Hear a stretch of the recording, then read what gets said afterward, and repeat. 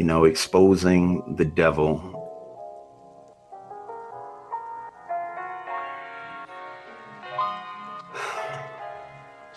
This is real hard for me to do right now because this is my family.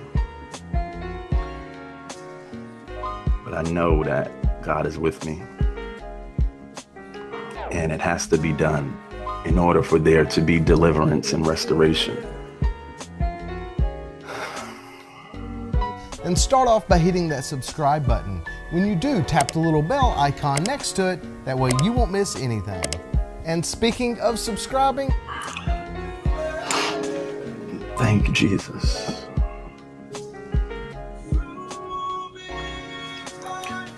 Thank you, Lord.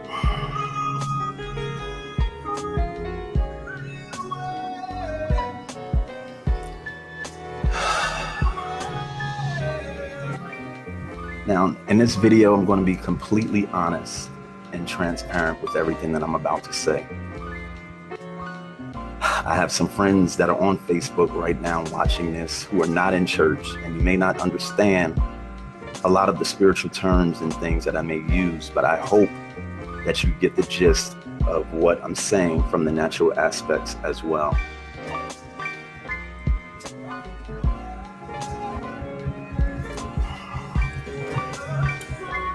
Growing up in church, first of all, I'm truly grateful for that because from there I received my foundation. I received that old fashioned teaching, so to speak. And that teaching is what Shauna and I have instilled in our kids. But being a church kid whose family runs the church, you also experience the other side of that as well. I was always told that everything that happened concerning the family stays in the family, which is why I suppressed what happened to me for so long. I was molested by my oldest cousin, Robert Moe.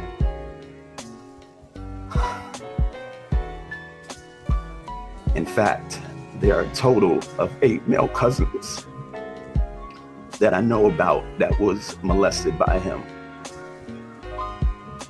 One of my cousins committed suicide over it. Those of us that have tried to come forth and expose what was going on to our family have been shunned and basically told to shut up. And if we say anything, it's sowing discord in the church. And with me being shunned after this, he was elevated. I just have to stop right there for a minute.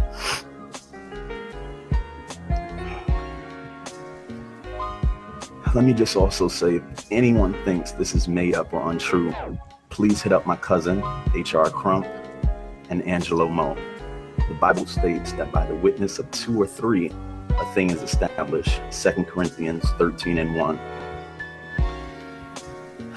I'm just going to pause right there for a minute.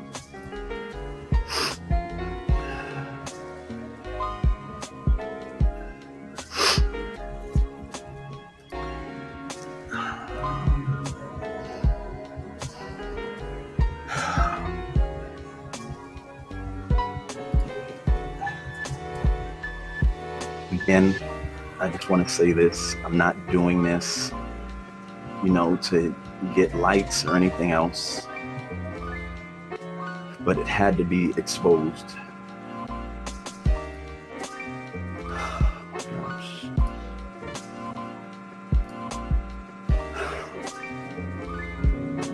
I personally had a meeting in 2009 when I learned he was still molesting other people. Had to finally stop suppressing what had happened to me and confront my family and my cousin. I was met with strong opposition, but I was hoping that something would be done about it. It wasn't. They actually promoted him to pastor and allowed him to start a mentoring program in the churches. Again, I hope that he would get some help And I hope that he was stopping or stop what he was doing.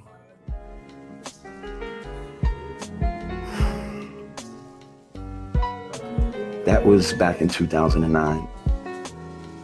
About two weeks ago, I found out that he molested and turned out a person in the church. That person went on to rape other members of their family. With the pressure of all the stuff that Yolanda Swift was coming forth with, they finally moved him back to Alabama.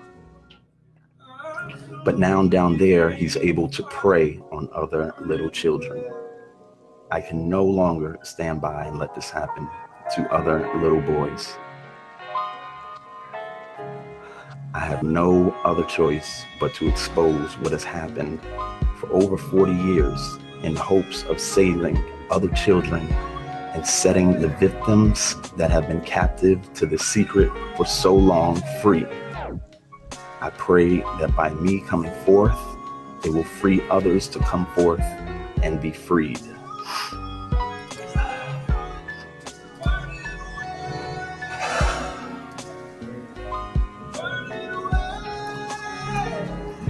I'm going to be pausing a lot through this because, like I said in the beginning, this is very hard for me because this is my family. This is not second, third, or fourth cousin. This is my family.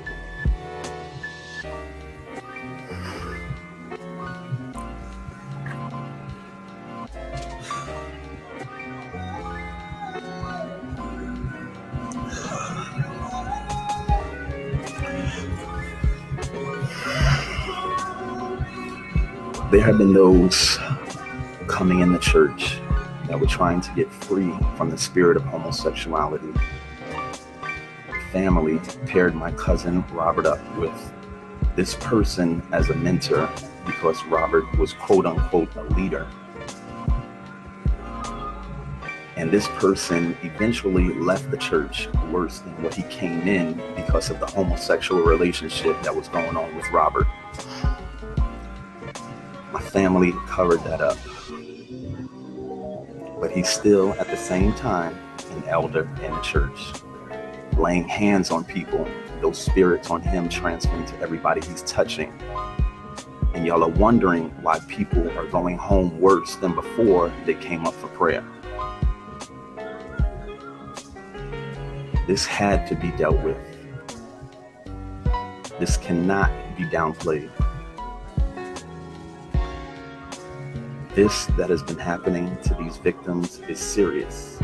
There are spiritual and natural consequences of this being done to these boys.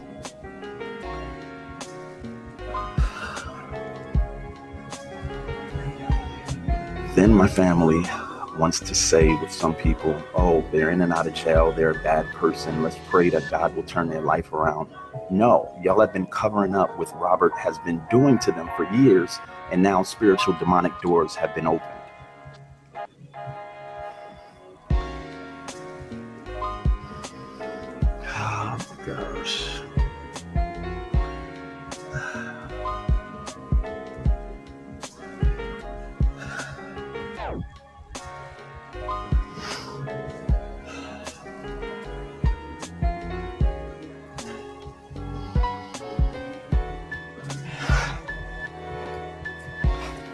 Cannot continue to let this to go on.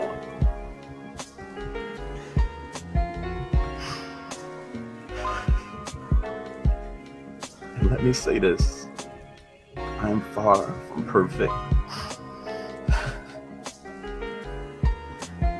I'm not exposing this because I'm sitting up on a mountaintop.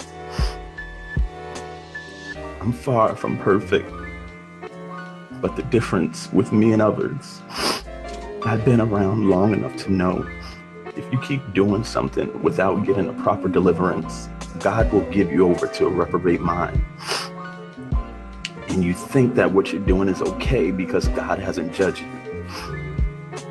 I know for a fact that this is the case, even with speaking to a father this week of his son that was molested by Robert.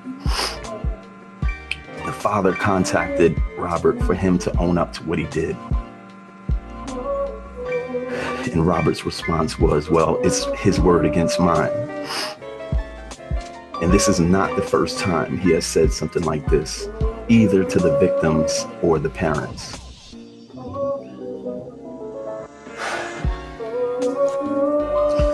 Some would probably say, looking at this video, Greg, you're causing discord.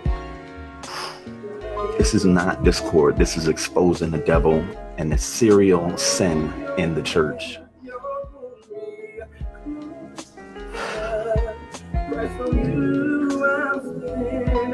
Goes out to the victims again. This is why I'm doing this video. Not just for the natural reasons, because I know if this doesn't get dealt with and handled correctly, their lives can be jacked up from this traumatic experience. And it's a traumatic experience for holding all of this in and feeling or not feeling that you have an outlet to be able to tell somebody, yes, this is what happened. This person was supposed to be a leader, my leader, the one that did this to me. That's why I'm coming forward, because now you have a voice.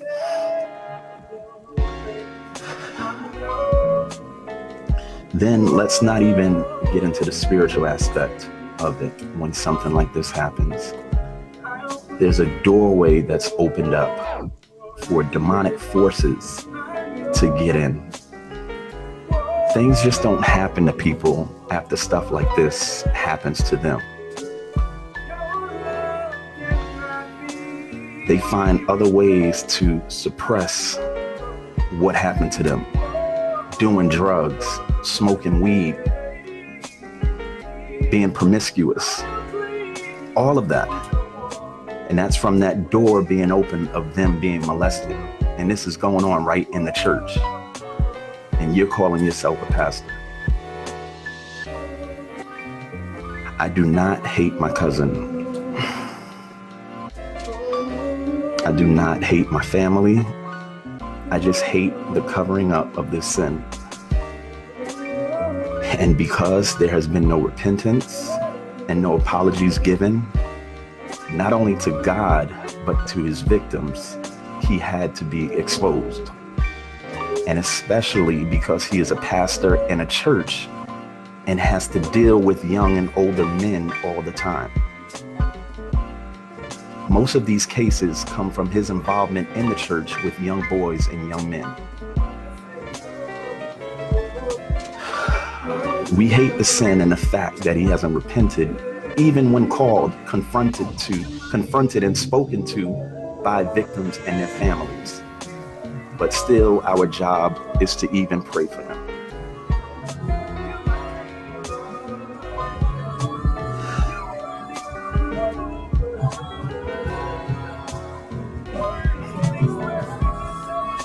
There has been no open rebuke. There has been I just want to say this because there's so many things that are going through my head right now. When my Uncle John was alive, that's the legacy that I remember. There will be times when I used to come into the church knowing that I wasn't living right. And the Spirit of God in him would say, Brother Greg, is there anything you want to say? Anything you want to talk to me about? And I'm like, Uncle John, how did you even know, or excuse me, Bishop John, how did you even know that I was with such and such last night? But it was just the Spirit of God on him. He was that in tune with the Spirit of God.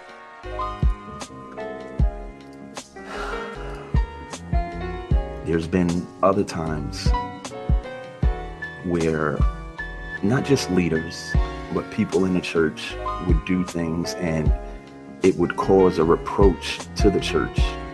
Even if one person came to my uncle, Bishop John, and said something, he would first get other witnesses. And if that was something that was the truth, after a Sunday, Tuesday, or Friday night service, he would have everybody leave that weren't members of the church.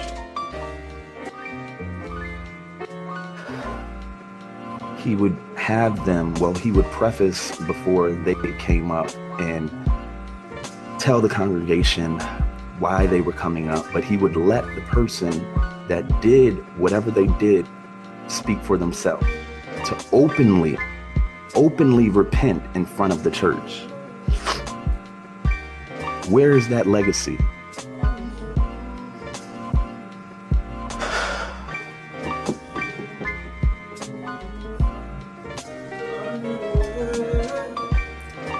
For all of the victims that are looking at this, I just want to say first, I apologize to you for my family, for the leaders not believing in you.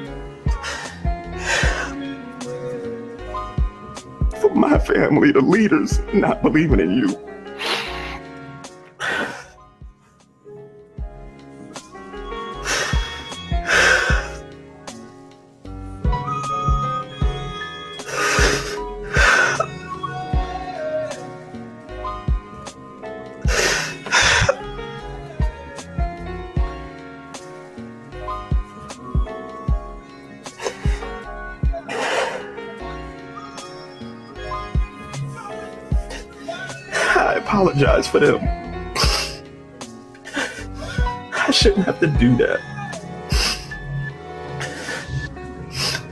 With me exposing this and apologizing for them, now you can come forward and speak about this, speak up about this.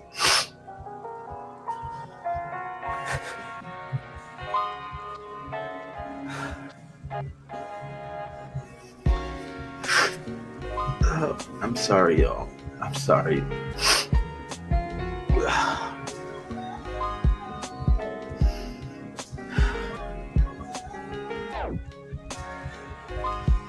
Then in the church, people wonder why they're not living fulfilled lives. Why? And they're made to feel that it's their fault.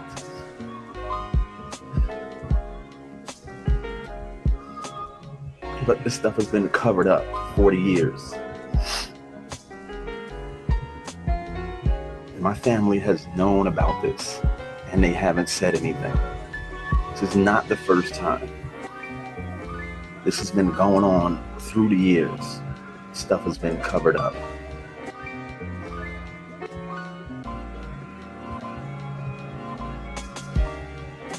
I literally last month,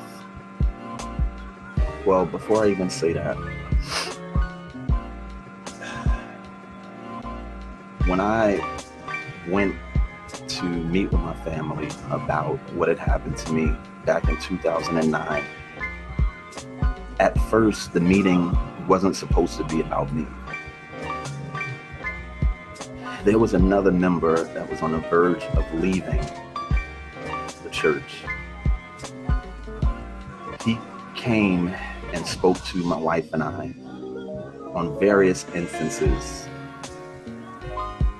about stuff that was going on. Him being propositioned by Robert. That's the reason I was having the meeting. But I knew that they wouldn't believe what I was bringing to them, so I put myself out there and brought up old hurts and old memories of what he did, just so there can be justice for this person. And in that meeting, my family didn't even believe me. But I'm not even gonna backtrack. But the reason why I said that, because that same person, I haven't spoke to him in about four or five years. He called me last month.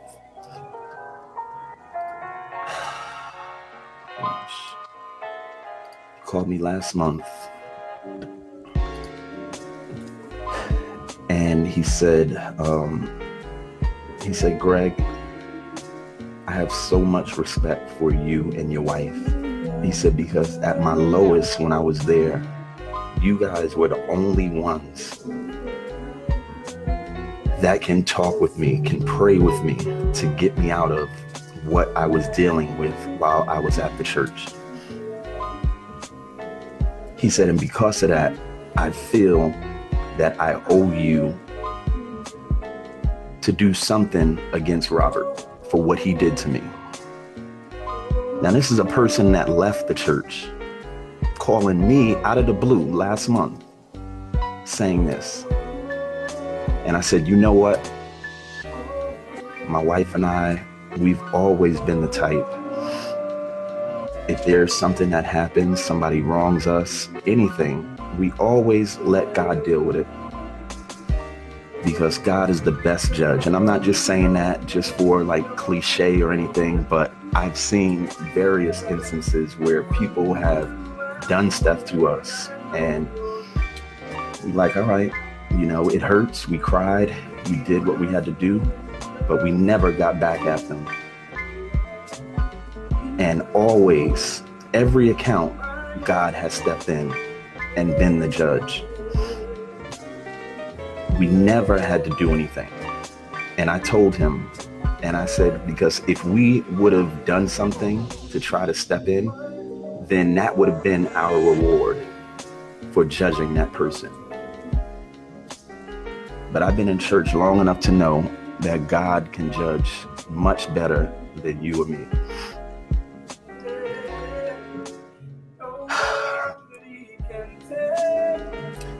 So I know I'm putting it out there. You know, I know again, this is my family, but it had to be said. I can't, I can't keep going on knowing that people were hurt, victimized, molested. And I know that things are still going on and nothing is being done.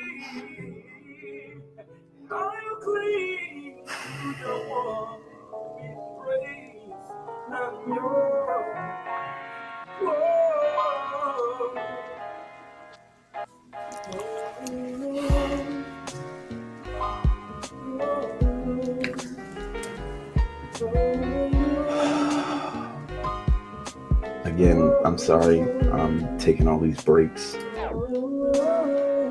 but it's just overwhelming for me this whole week alone.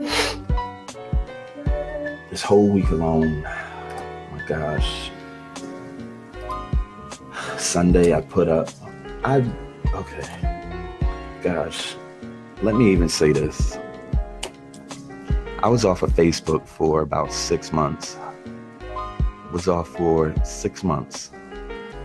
Um, I took a little hiatus. The only reason I came back to Facebook was to say that what Yolanda Swift brought forward was 100% true. I don't know if any of you saw my comment and my post that I did on Sunday. That's what I did. No lie, that Sunday night, I get a call from one of the leaders. Sunday and Monday, um, my wife and I, we were on a college tour with my son. So we were handling that, and I couldn't really, you know, talk, but I knew what it was about. Wednesday, this person called me again, left a message. Said, Greg, God has told me you need to stop posting and stop agreeing with Yolanda Swift.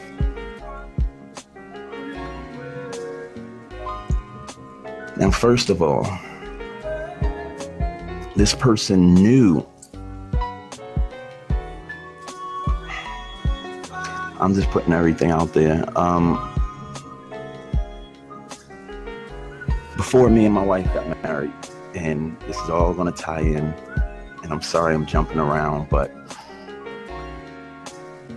before me and my wife got married, another leader came up to me. And this is one of the reasons why we left the ministry 18 years ago. Another leader, my family member, came up to me and said, Greg, God told me that Rashana is not good for the family. So if I didn't believe, quote unquote, your God back then, and the past 18 years, yes, my wife and I had to basically start all over, start that relationship all over again after leaving the church we was out there on an island by ourselves. But if God is telling you this, don't you think if I have a relationship with God also, He's going to reveal that to me as well? So, getting back to this leader that called me, it was kind of funny because I said, do you think I'm going to listen to you now after before 18 years ago that same thing was said to me using God? And they said that I'm sowing discord. But for the past 40 years, y'all been covering up stuff, and I'm sowing discord. I applaud Yolanda Swift for coming forward. And then that's another thing. How is she going to know anything unless God is the one that told her? She has details. That's only from God.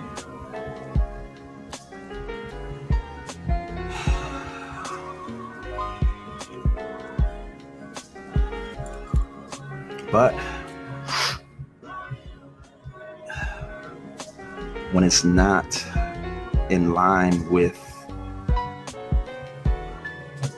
their agenda, you're the bad person.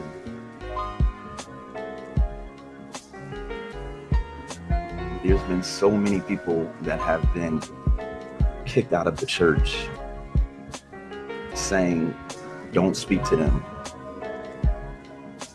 When is the leadership ever going to take the stand and say, okay, God, is it us? Is it me?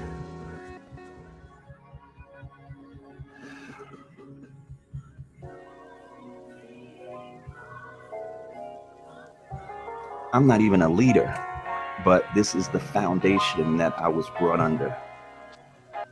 To even have that reverence, that compassion,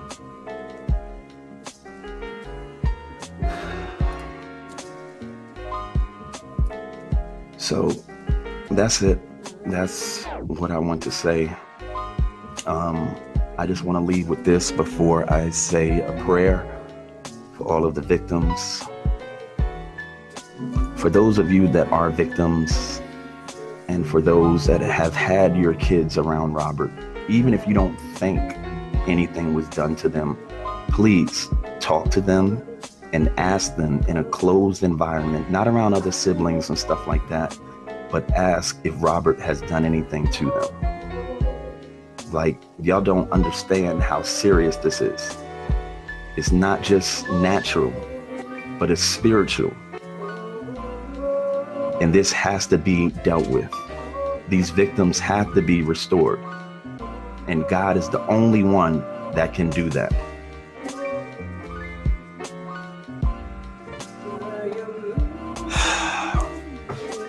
One last thing. It was said that this happened over 30 years ago. It's been covered under the blood. What Robert has been doing. I know for a fact victims that aren't even 30 years old, aren't even 20 years old, not even 10, Let's keep going down. Not even five years old. And you're telling me it's covered under the blood. It happened over 30 years ago. The devil is a liar.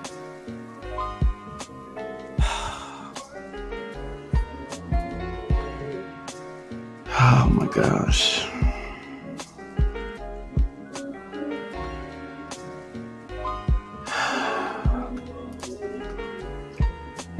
Again, please, if you are a victim, come forth. It's unhealthy to keep this in. It's unhealthy to keep this in. There's some of my other cousins that this has happened to. They haven't even told nobody. Well, told their parents. We have to get closure from this.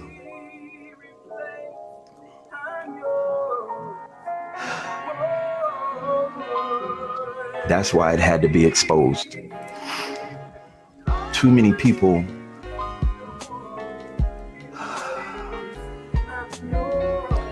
too many people are living from this unfulfilled lives because of what my cousin Robert did to them in the church. So that's why I had to come forward with this. I can care less what happens to me. I know I'm covered under the blood. This had to get out.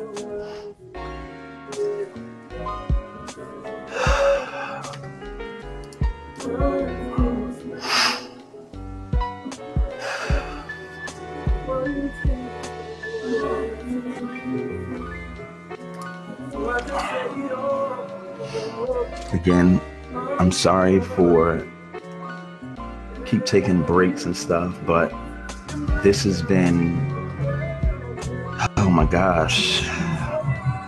This week alone, just even building up to this day, there's been so much, so many demonic forces that have been coming against me for this not to get out.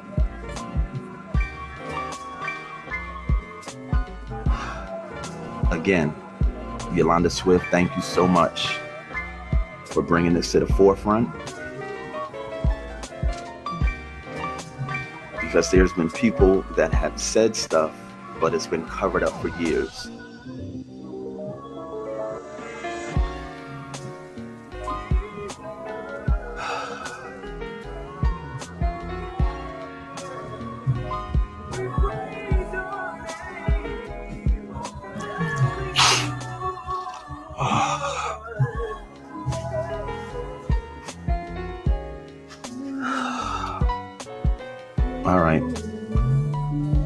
I just want to make sure that I said everything that I wanted to say before I say this prayer for the victims. Please, everyone, to on your page, even I know that we're friends on here and that's how you saw it, but please share this. I have a copy of this video so even if it gets taken down, it's fine. All right, let's pray. And this is for all of the victims. I just want to say a prayer for y'all. And before I even pray, just everybody that's looking at this, this is not, I'm not doing this so people can run and gossip and everything else and oh, this is what happened and all of this stuff. It's past that. It's past that. We need to be prayerful. We need to be praying for these victims. Praying that God will convict Robert to even come forward and even say what he is. A lot of times in the church, in the black church, we don't want to deal with stuff like this. We don't want to call it like it is. Good friend Everton put up on his page about the Catholic Church. They'll in a minute expose somebody that's doing something wrong, and then they strip them from their title and everything. That's in the Catholic Church.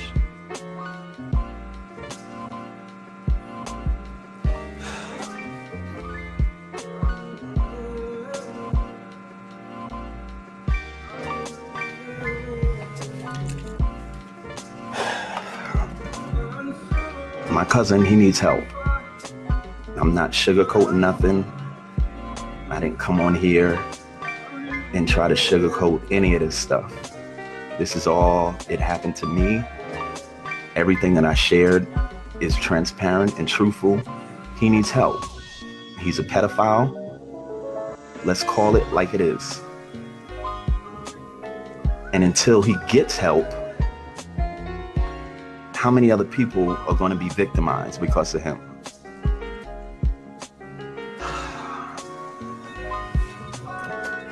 Let's pray. Lord, in the name of Jesus, today we pray in the name of Jesus for the minds of each victim. We pray that their minds be renewed by the word of God and with Christian counseling. We pray for the hearts of each victim, that they would forgive the abuser so they can move forward with their lives. We pray that each victim be delivered from the spirit of rage and anger.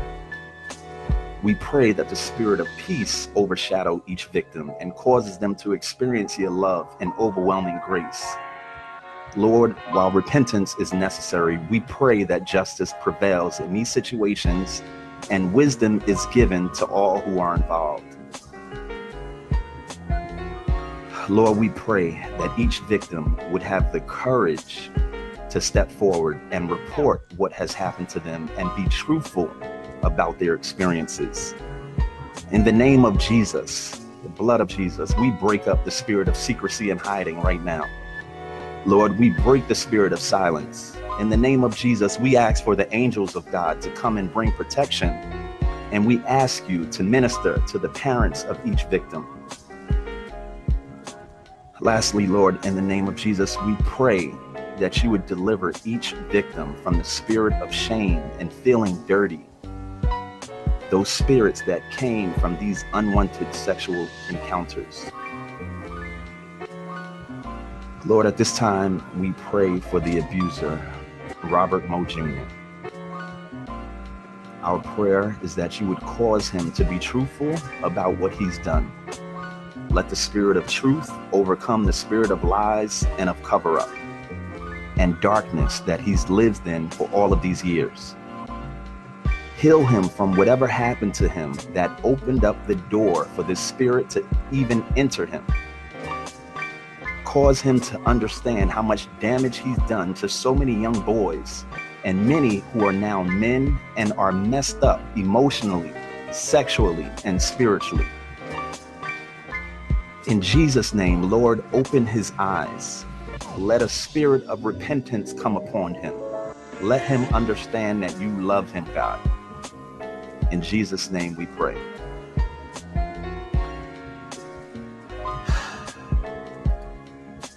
If y'all don't take anything from everything that I just said, my prayer and the reason why I did this video is because God came to set the captive free.